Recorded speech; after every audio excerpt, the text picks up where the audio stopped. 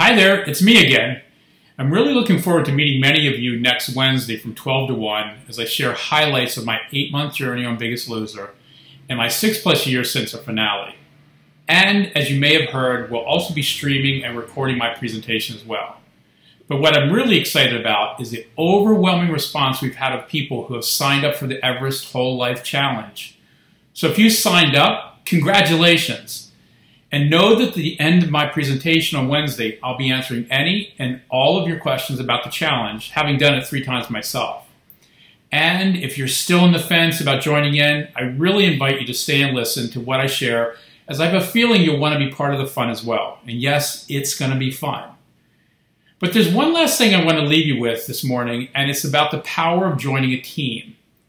From my personal experience and having coached thousands of people over the years, most of us do best with a buddy, a partner, or on a team. Truly, there's success in numbers. So if you want to join a team, you can do it. Just email Paulette your team name and she'll set you up in the system. And as soon as it's set up, she'll let you know, and then you and your teammates can get connected. There are no rules for setting up a team other than it's best if you all have a common goal in mind. You could form a team with two people or as many as 10 many more people than 10 to a team just doesn't work as well. But as I said, there are no rules around forming a team. Maybe it's a department team, maybe it's a team of people who really want to start walking more, or maybe it's a team that's just interested in drinking more water every day.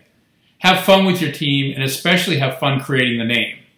Remember, the Whole Life Challenge isn't a competition with others, and it's certainly not a competition with teams.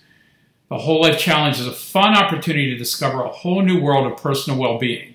So that's it for now. And as I like to say, tag your all it until we meet next Wednesday.